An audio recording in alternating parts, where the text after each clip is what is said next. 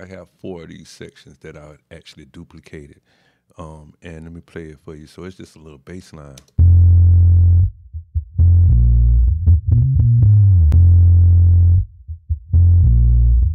Right, but you hear that the popping in between every loop, right? The pop.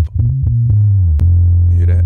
All right. So in order to get rid of that, I would suggest to you highlight all of the clips. So just highlight them all, however many you got. So in order to get that clipping to go away, fade in your the end of the track. I faded in by what? 0. 0.0.0.5. And I'm not very good at math, but I know that's a tiny bit. So if you play. No more pop. So it sounds clean now.